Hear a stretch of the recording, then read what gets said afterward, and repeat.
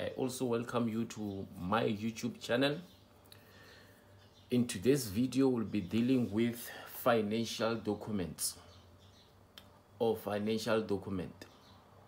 Uh, let's look at this statement. It says that Mr. Randy Ford moved from the USA to South Africa and was appointed as a head of Department for Mathematical Literacy and Mathematics at Zunul, Zunodli, yeah, Zunodli High School in Johannesburg.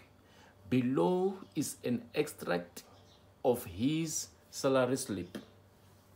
So if we look at this salary slip, we can see that it's written salary advice, the same as salary slip the name of the school, the address of the school, the date of joining, which is the 23 June 2022. Pay period is around August 2023. Worked day 26. Employee name, we can see there the position is the HOD, Department of Mathematics when we look at the earnings, he only received basic pay and the home allowance. So a gross is the combination of a basic pays and home allowance, which is 41,072 rands and 18 cent. Deductions, the deduction that we are having here is tax, medical aid, and home loan the value of A is total deduction. We just have to add the three amount that we are having if they can ask you to find the value of A. The value of B is our net pay. We know that net pay is salary after deduction. We are just going to say gross minus total deduction. Then you find the value of B. Let's look at the first question. It says that explain the meaning of pay as you earn as seen in this context of the salary slip above. So we are going to use the contest that we are having on this pay slip. The more Randy ends, the more Randy ends, the more he will pay tax.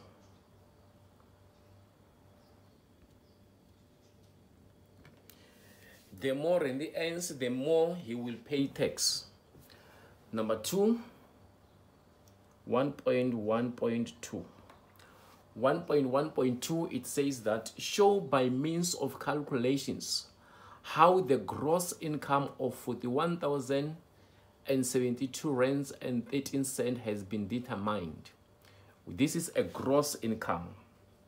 They want us to calculate the gross.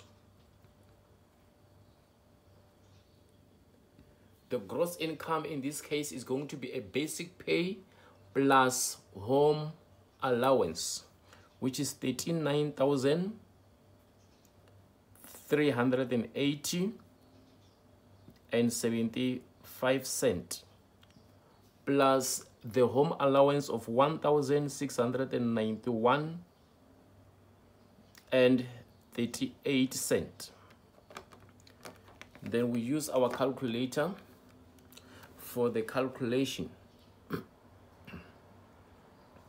let's check in the calculator what we have 39,380 and 75 cents plus 1,691 and 38 cent.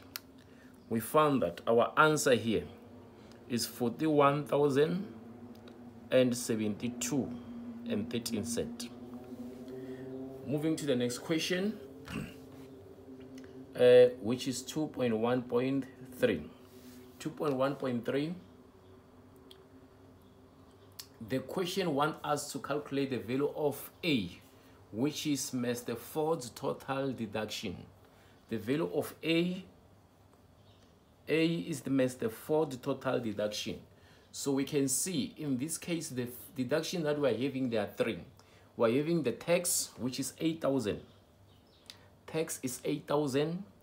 496 and 32 cents plus what plus medical aid of 1701 plus home loan of 15,250 then we do addition we added the two the three I mean 8,000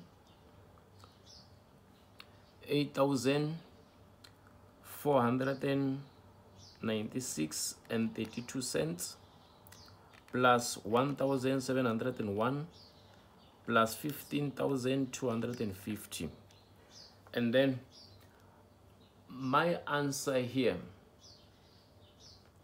is 25,000 total deduction is 25,447 and 32 cents moving to the next question which is 2.1.4 2.1.4 it says that uh, Mr. Ford informed his wife that he will have a net of 15,625 and 81 cent.